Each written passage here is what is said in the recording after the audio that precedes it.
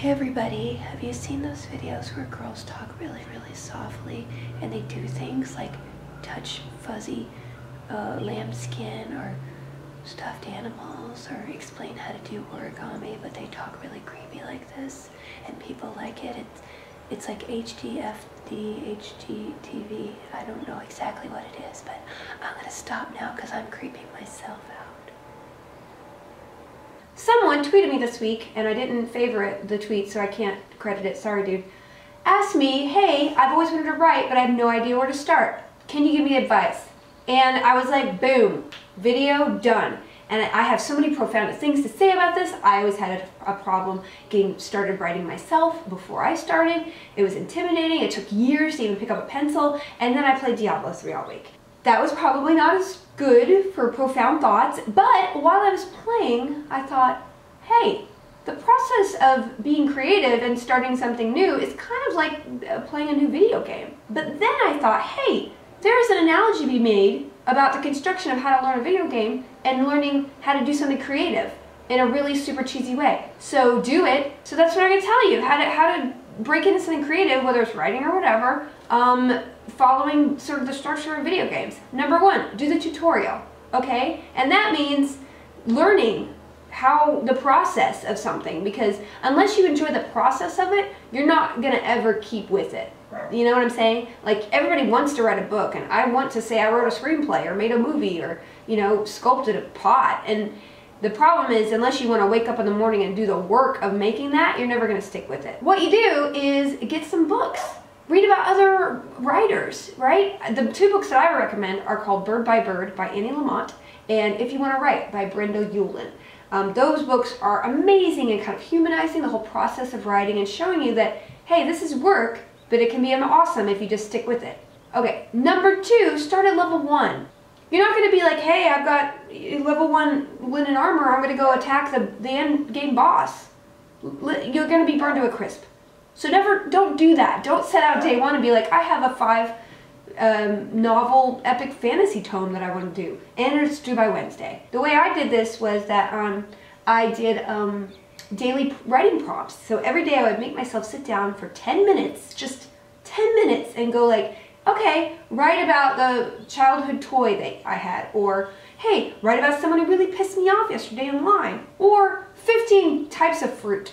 Just doing that trains your brain to think creatively and outside the pattern of what it normally does. And if you do it every day, you're starting a habit which probably might pay off or maybe not, but you'll feel self-righteous for the rest of the day. Number three, once you understand what the world is and start out and get your training wheels off, why is the FedEx truck here?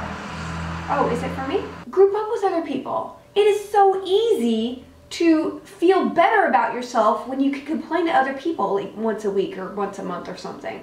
I mean, that really is the core of everything, support group kind of situation. And I know support group sounds really super cheesy, but think of it as a guild. You're joining a guild of creators. You could do this by taking an online course. I took like an online extension course for short stories. I never saw the teacher or any of the students, but I kept doing the course because I paid for it and I felt guilty. Or you can look at five of your friends and be like, hey, let's all set some goals and every week just say, what did you do this week? What did you do this week? Okay, let's drink beer and play D&D. Once you start working with other people, it becomes so much more fun to share what you've done that week.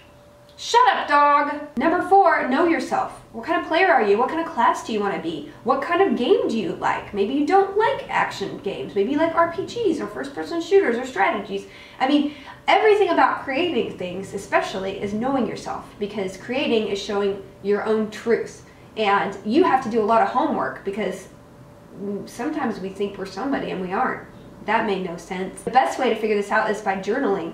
There's a book called The Artist's Way, and I did that several times over the last several years just to get back and start digging about who am I really outside of all this other things that everybody wants me to be.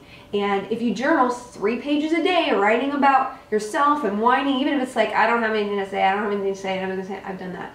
It totally makes you realize, oh, I actually do have something to say and I want to say it, whether it's with writing or pottery or dancing or whatever. Number five, once you got all those other things done, and hopefully have a daily habit of doing whatever it is you want to do, um, set the goal and do it. If you're going to beat the game, beat the game. You're going to have the best armor, do it. But Um, set the goal and make sure that every day you're working, even if it's tiny, tiny step, you're walking towards your goal. I am not the fastest writer, but I've gotten in the habit of sitting down in one hour every morning, whether it's I do five words or five pages or 50 pages or five tweets about, you know, birds screaming in the back of my video. Like, I do it every day, and then I feel guilty if I don't, and that's when you know, hey, I've hit the jackpot. I actually need to be doing this. Put your hand down. And the biggest thing is just finish. And it's not going to be good.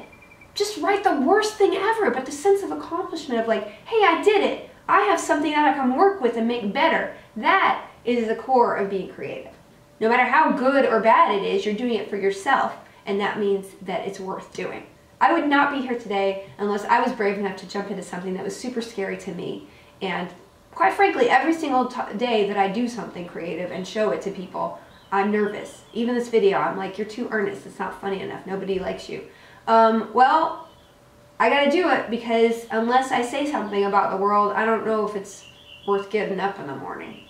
Was that depressing or inspirational? Alright guys, so nice talking with you. I hope this uh, experience is valuable to you and if you pick up a pen and start writing because of anything I've said here with my very loose video game analogy and creativity, let me know. Uh, I'd really love hearing about it because I love to inspire and I really, really hate talking like this.